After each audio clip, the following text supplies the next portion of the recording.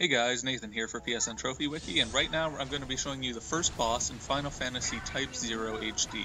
The reason I'm showing you this boss is because it actually has quite a bit of a learning curve, and I expect that quite a few players will get frustrated with it, because it's possible to almost instantly die when you start this boss fight, and you do get sent back quite a ways.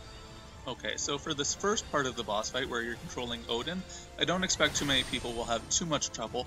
Just hold X and uh, once the charge gets up to 100%, just release and you will attack and instantly kill the boss. Fine. But for the second part of the boss fight, it's possible to pretty much instantly die. If you get hit by one of those light beams that shines down from the, from the boss, you will get hit once, take off about half of your HP, and then almost definitely you will get hit by the next light beam and well, lose the other half of your HP as well.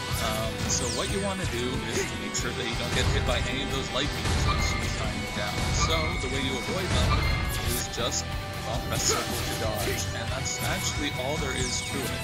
Um, you can dodge even if you're in the middle of a combo. You see that every now and then I'm throwing some cards, and I can dodge instantly just by pressing circle as soon as I see. So just keep doing that, and watch for.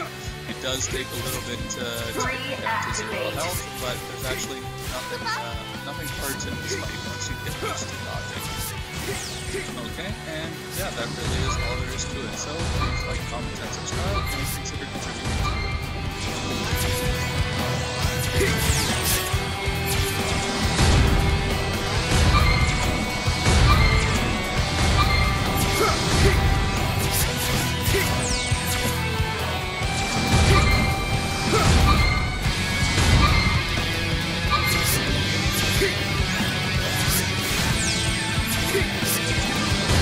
What?